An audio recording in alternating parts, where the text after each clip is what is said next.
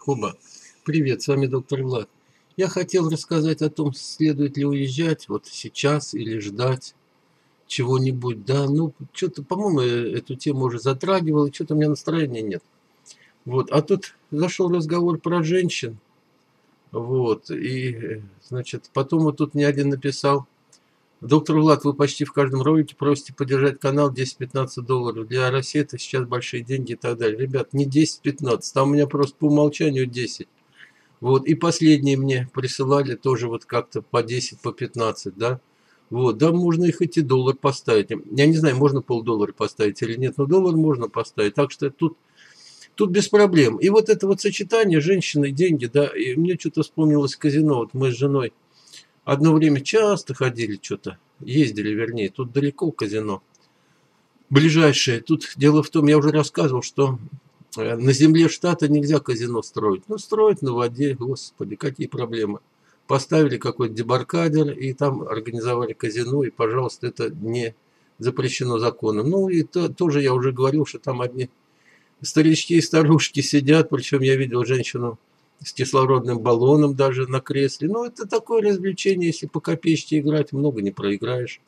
Вот, а мы в основном по копеечке играем с женой. Ну, там, правда, может десятикратную ставить, там 15-кратную, что-то такое еще. И вот я хочу сказать, вообще вот э, казино вообще реально выиграть или нет. Ну, выиграть-то можно, но, в принципе, я выигрывал, и жена выигрывала, и проигрывали тоже. Вот, у меня жена очень азартная, я-то нет, мне-то, в общем-то, как-то по барабану.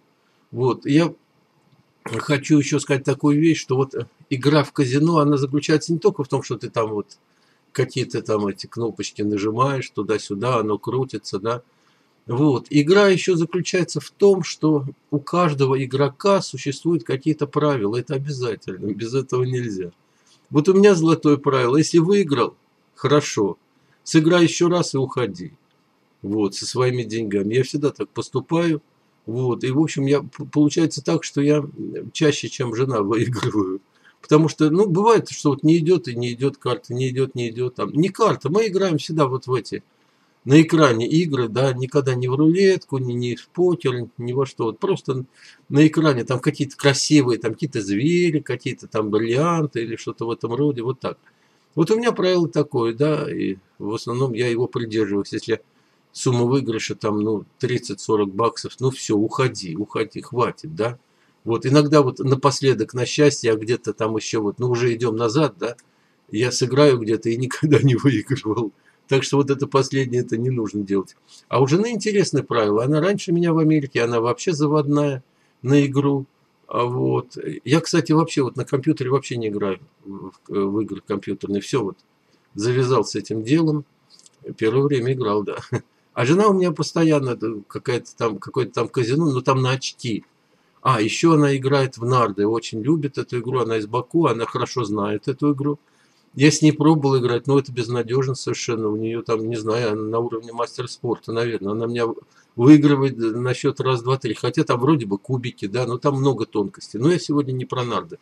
Вот у нее, у моей жены есть такая фишка, да, вот она мне тоже рассказывала, и что самое смешное, вот оно так и работает, да, в казино. Вот, я не хочу сказать, что я вас сейчас научу играть, и вся, всей России ломануться в казино, и, вот, и себе хорошую прибавку там к зарплате, к пенсии. Нет. Но фишка работает. Смотрите. Вот она всегда внимательно следит за окружением. Всегда. Вот. Там, кстати, кофе бесплатно. Вот. Вино бесплатно нет. Кофе бесплатно. Я там обычно кофе напиваюсь.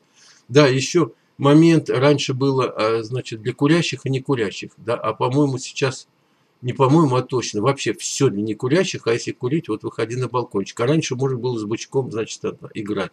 Вот, но только в а, отдельной специальной, э, ну как, не комнате, а там вот у нас в Чикаго два этажа, один для курящих, один для некурящих. Ну и вот, и вот она всегда смотрит вокруг кто и как. И вот если она видит, если какой-нибудь мужик там, ну или женщина, это не важно – играет, играет, играет, играет, и видно, что он не выигрывает, потому что когда выигрывает, там музычка играет, блам, блам, блам, блам, блам, блам, блам. И видно, что не выигрывает, вот, просаживает кучу денег, а потом раз так, ах, и уходит, да.